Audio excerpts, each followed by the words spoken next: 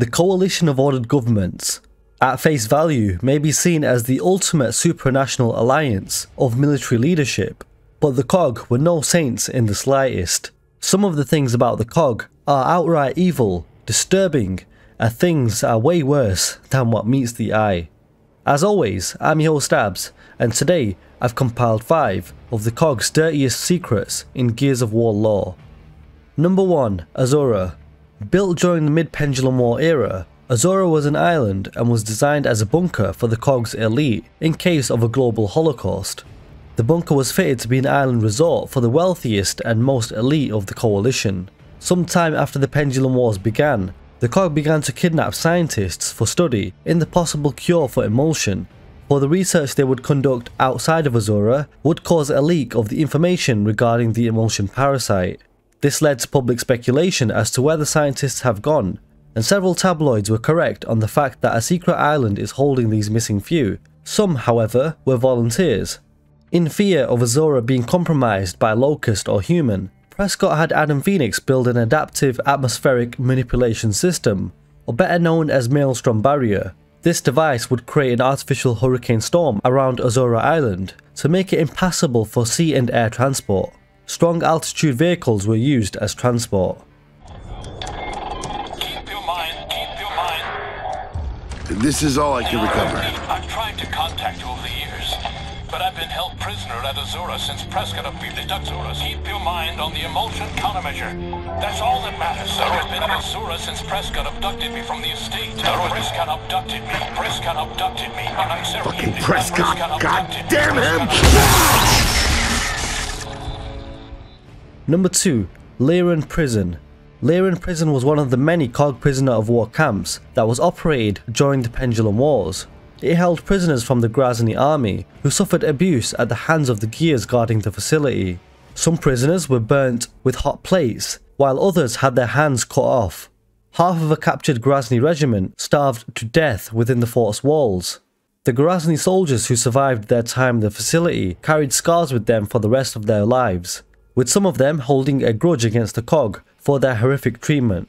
The COG government of course never told its civilians or the rest of the armed forces about the war crimes committed against the Gorasni, with details about Learan prison only coming to light during the stranded insurgency on Vectes, when the remnants of the Republic of Graznia joined the COG on the island. One survivor of the prison showed photos of the crimes there to Sergeant Marcus Fenix, who was horrified at what the gears there had done. Number 3. Niles Samson. During the Pendulum Wars, Dr. Niles Samson became a renowned scientist in Tyrus under the Coalition of Ordered Governments. He later maintained a high position under the Coalition's Department of Health. Recognized for his accomplishments, the Coalition invited Dr. Samson to Azura. As resident and researcher on Azura, Dr. Samson helped build Azura into a place of solitude and ingenuity. As such, his voice was used as inspiring public announcements to encourage the work of other scientists at Azura.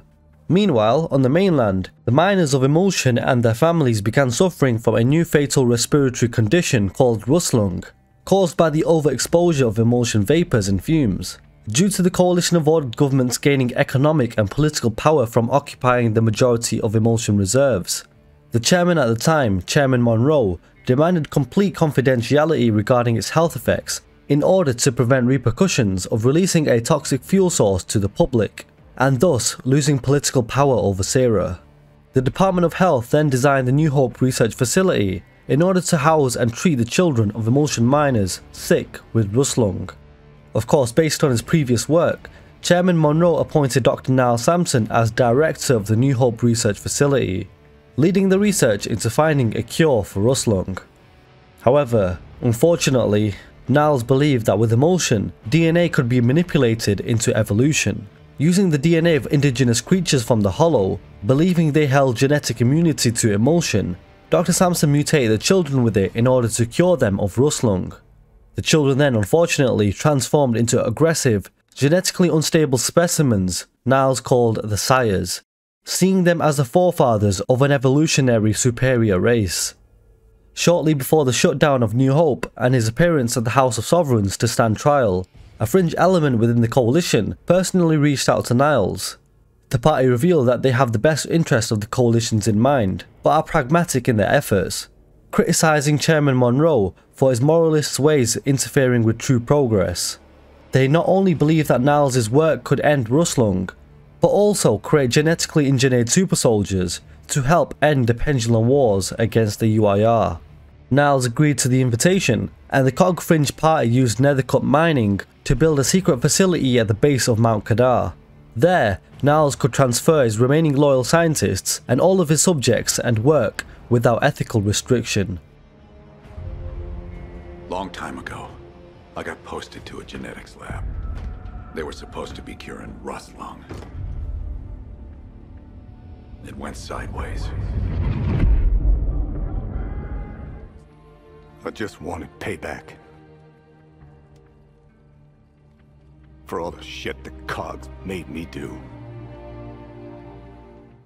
Number 4. Classified Information Chairman Prescott was very secretive of classified information that could potentially damage or destroy the cog should anyone find out and was willing to kill anyone to keep the truth buried.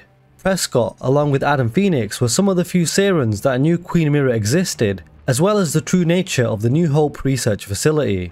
Despite having knowledge that could have potentially helped the cog win the war faster, Prescott instead used whatever resources available to instead cover it up. When Sergeant Gabriel Diaz confronted Prescott about the existence of New Hope, Prescott attempted to kill him and Sid Redburn with a Hammer of Dawn strike, in order to cover up the truth, rather than sharing what he knew, which could have potentially helped them to kill Ukkon, a major threat to humanity. At the same time, Prescott put humanity at further risk with his cover-up attempt, because Diaz and his forces were attempting to kill Ukkon, a vital mission that Prescott himself had given them. It was only during Operation Hollow Storm in Gears of War 2 that Prescott declassified the file concerning New Hope out of desperation to find the local stronghold, Nexus. However, he simply classified it as a decommissioned cog outpost that held potential answers and refused to reveal the exact details of the connection. Similarly, Prescott hid the truth of Imulsion and the Lambent pandemic from Colonel Victor Hoffman, despite repeated attempts to get answers from him.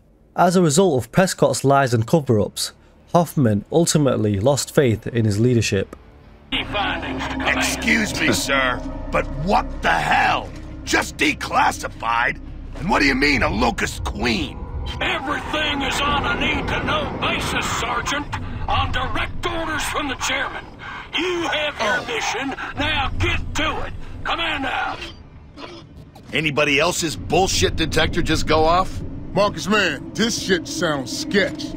If Hoffman didn't even know about this place.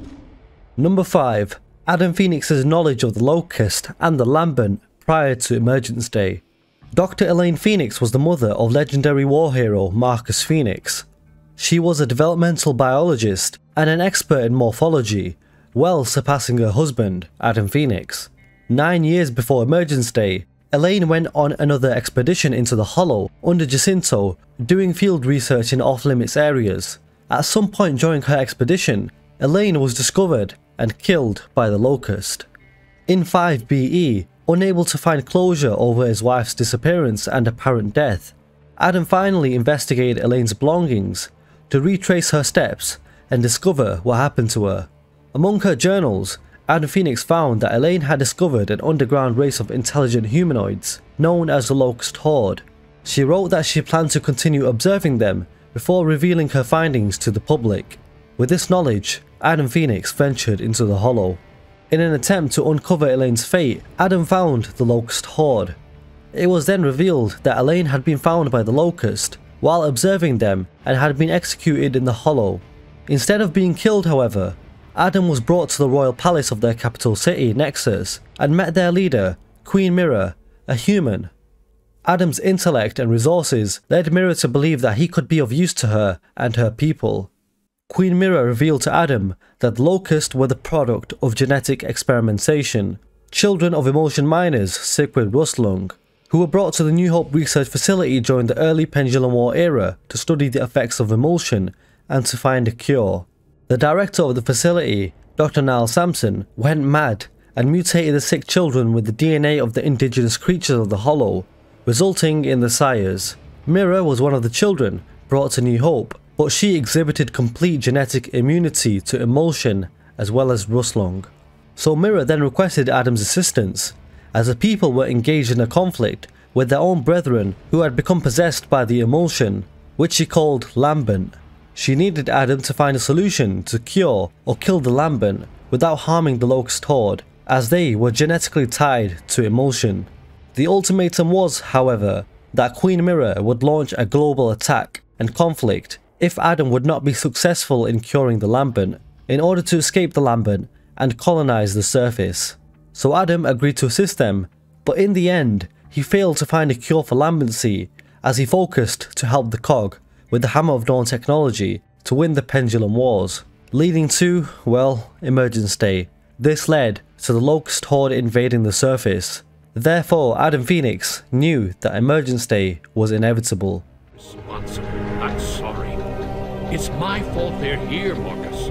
I failed to stop the Imulsion spreading all those years ago. It drove the Locust out of their warrens.